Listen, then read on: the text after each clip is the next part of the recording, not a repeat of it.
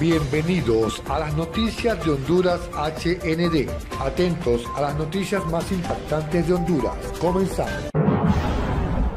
Corte Sur de Nueva York ha negado la petición a Juan Orlando y el Tigre Bonilla, la cual consistía en no estar juntos en el juicio. La Fiscalía de los Estados Unidos ha sido contundente contra estos dos acusados que enfrentarán un juicio en conjunto para el próximo 18 de septiembre del 2023. Aunque Hot y Bonilla no querían ser juzgados juntos, la justicia estadounidense va con todo el peso de la ley y de ser declarados culpables se enfrentarían a una larga condena tras las rejas en una prisión federal de máxima seguridad.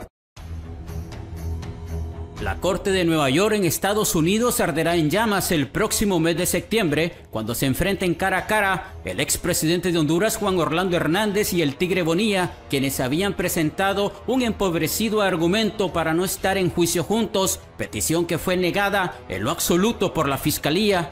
Y es que la Fiscalía del Distrito Sur contestó con pruebas sólidas a Hot y al exdirector de la Policía Nacional, basándose en las reglas federales de procedimiento penal, específicamente en la regla 8, que rige la acumulación de delitos y acusados, es decir, que se puede imputar a dos o más acusados si se alega que han participado en el mismo acto o transición o en la misma serie de delitos la ley estadounidense vincula a Juan Orlando Hernández y al Tigre Bonilla de ser socios y conspiradores para traficar droga hacia los Estados Unidos de Norteamérica.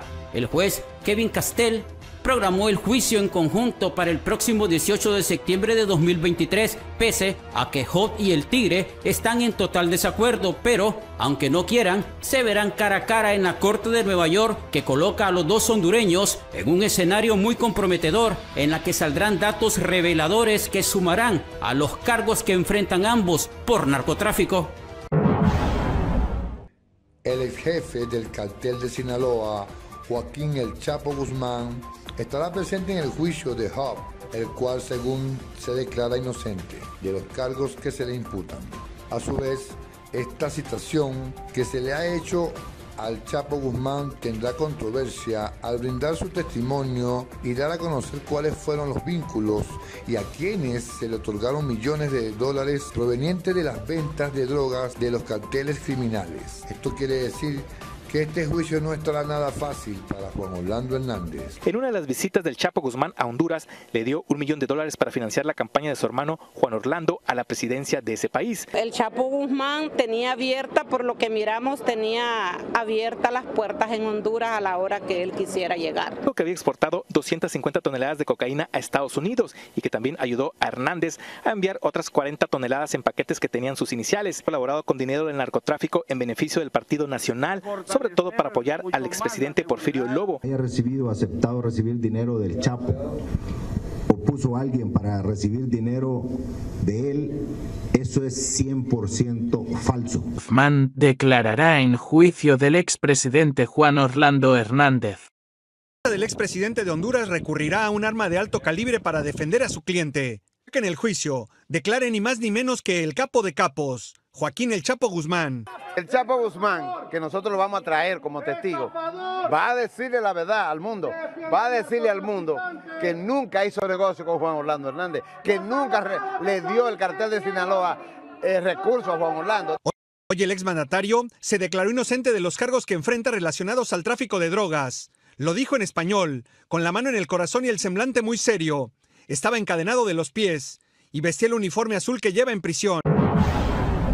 El vínculo de Juan Orlando Hernández con su predecesor Porfirio Lobo Sosa, el cual promovió a Juan Orlando, ungido por su partido nacional. La relación entre ambos era dulce, antes de que pasara a convertirse en una de las contiendas personales más arraigadas en el seno político nacional. Porfirio Lobo aún exclama que su único enemigo es Juan Orlando Hernández. a Juan Orlando Hernández de ser el presidente más corrupto de la historia, Porfirio Lobo Sosa señala. A continuación, las declaraciones exclusivas del expresidente Porfirio Lobo Sosa, que es contundente y reafirma y lo señala. Juan Orlando Hernández es el presidente más corrupto de toda la historia de Honduras. Lástima. Porque mira, te doy por qué razón. Los enemigos tuyos que son bastantes. Esos no van a ser amigos porque tú persigas a tus amigos, porque traicionas a tus amigos. No, esos no van a ser amigos tuyos. Y los amigos los estás perdiendo. Entonces, ¿cuál es tu futuro?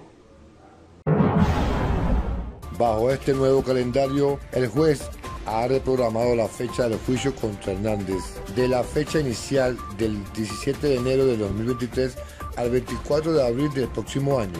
La esposa de Juan Orlando Hernández, Ana García de Hernández, ha reaccionado al hacerse pública la notificación y ha dicho que el cambio de la fecha los beneficia para demostrar que su esposo es inocente. La ex primera dama comentó en redes sociales que los cambios van en consonancia con los intereses de la defensa porque el gobierno estadounidense no ha entregado y aportado todas las pruebas incluyendo material clasificado.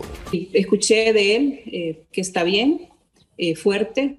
Eh, aquí tenemos un refrán en nuestro país que dice el que nada debe, nada teme y mi esposo es inocente. Eso es algo que yo siempre lo he dicho y que nosotros estamos siendo víctimas de una conspiración del crimen organizado.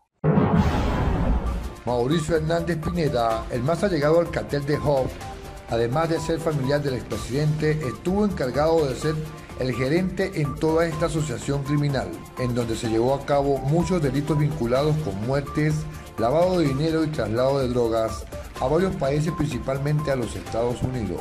Estos testigos clave que se suman brindarán declaraciones las cuales le dará un beneficio en su condena, la cual se tornará en base a su testimonio para así llegar a la verdad sobre todos estos vínculos criminales y nefastos del narcotráfico.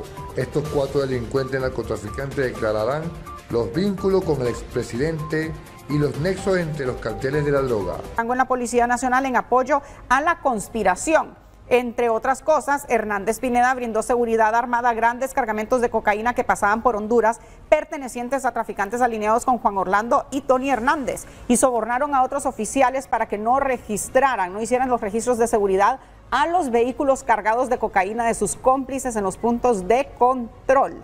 Hernández Pineda con Tony Hernández, con Juan Orlando y pues por supuesto con Juan Carlos Bonilla, a quien ellos aquí mencionan que lo tuvieron en la Policía Nacional ascendiéndolo mientras él les ayudaba protegiendo cargamentos de cocaína para narcotraficantes que Juan Orlando, leo textualmente, prometió proteger, proporcionando información sobre las operaciones de aplicación de la ley a esos narcotraficantes para asegurarse que pudieran evadir la detección y el arresto y cometió actos de violencia, incluido el asesinato contra narcotraficantes rivales que amenazaban los intereses de Juan Orlando y Tony Hernández.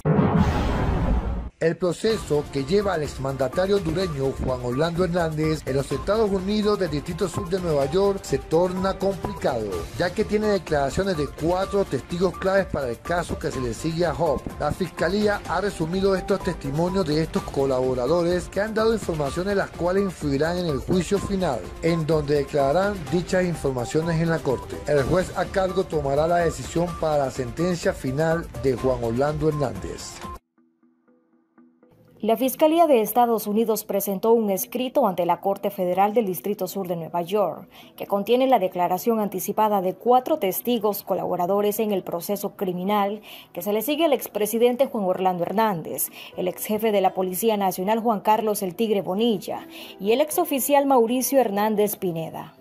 La Fiscalía ha resumido partes del testimonio anticipado de estos cuatro testigos colaboradores para proporcionar algunos ejemplos de las formas en que se superponen las pruebas contra los acusados, señala el documento federal. En el oficio, los fiscales estadounidenses establecieron que los testigos depondrán sobre temas adicionales y que llamarán a otros testigos, hasta ahora desconocidos, y presentarán pruebas adicionales en el juicio en conjunto para demostrar aún más sus roles superpuestos en la conspiración.